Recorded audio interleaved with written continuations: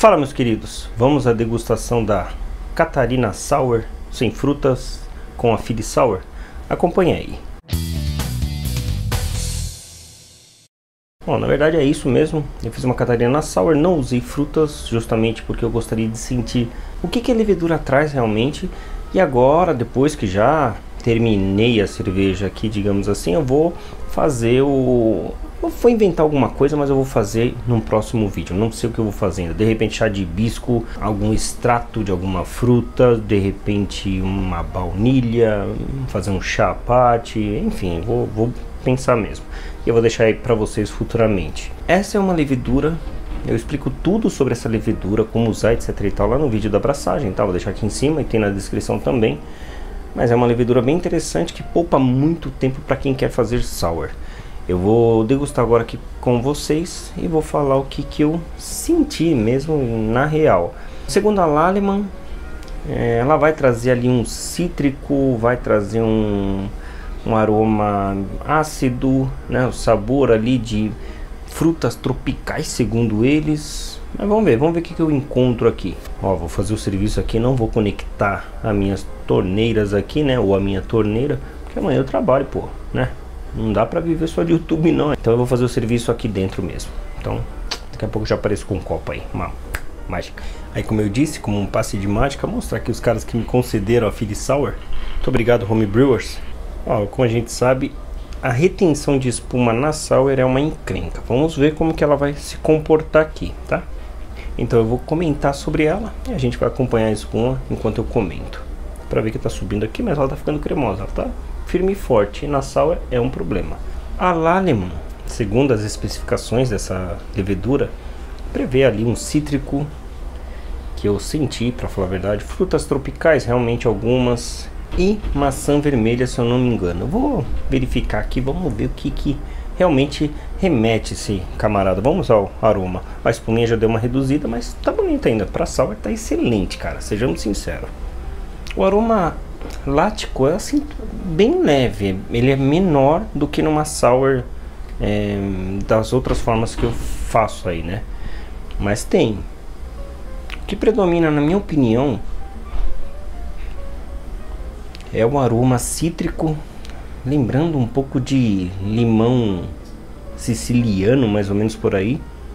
Não é um limão Tahiti. Lembra ali uma laranja de repente, alguma coisa do tipo. Mas é bem sutil esses caras que eu tô falando. Mas é, o cítrico é, é, até que intenso. É o que predomina na minha opinião. O aromalático eu não, não senti tão intenso como, é, como eles descrevem. A maçã vermelha realmente eu não peguei. Vamos ver, pode ser pela espuma. Também ela tá bem gelada, né? Então, vamos ao sabor. Ó, no sabor já é já é uma mistura de sabores. Eu sinto uma lixia, parecida com lixia, com uma laranja ali de leve. Aí vai ficando, você vai sentindo ácido realmente, vai começa a secar a boca. Dá a impressão que ela está com um corpão gigante, ela não está com esse corpo todo que ela dá a impressão na boca, só que ela vai secando, seca, seca, seca, seca. No final tá 100% seca a boca Sabe, começa a grudar e não tem nada de dulçor aqui não, não é grudar de doce. Ah, né? Não, esquece dulçor, aqui não tem dulçor não, fio. Vou deixar, a, a FG tá aí embaixo, dá uma olhada lá. Acidez, vamos falar da acidez. Ela não chegou no pH que as outras chegaram, 3.2, 3.3. Porém, ela com 3.4, que foi a acidez que ela chegou, entregou uma cerveja no paladar bem ácida.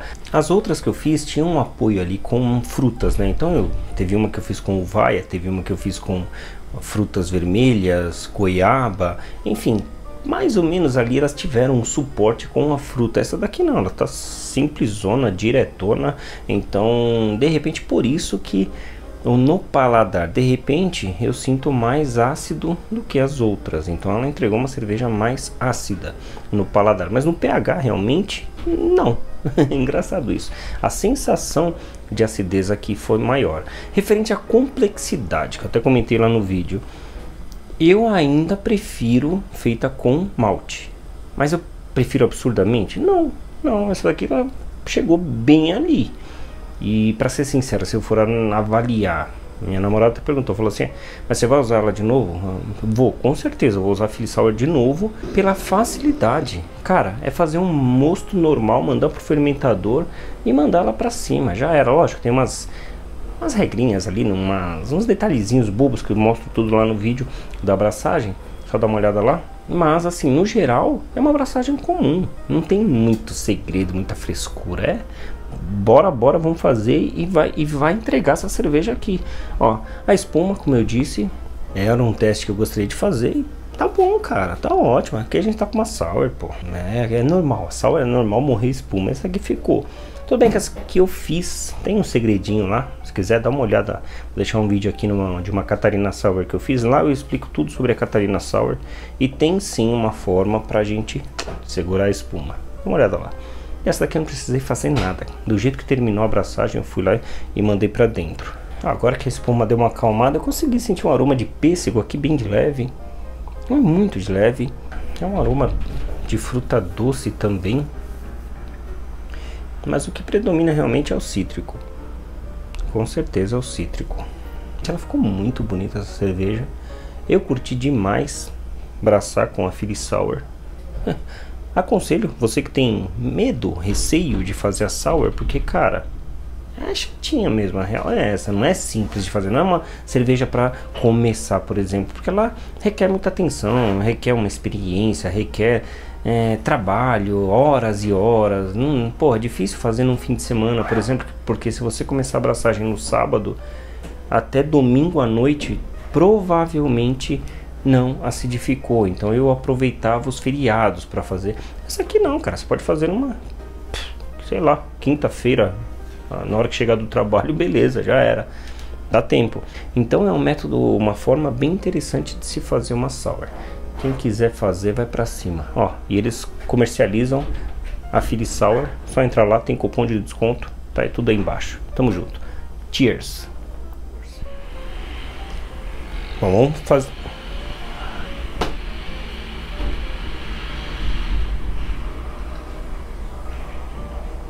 Fazer uma vaquinha pra comprar essa moto ainda. Mas ela seca bem a boca, começa. Tá legal? Que cor que ela tá parecendo aí, aí? Cor? Tá da cor daquele beer ali, ó.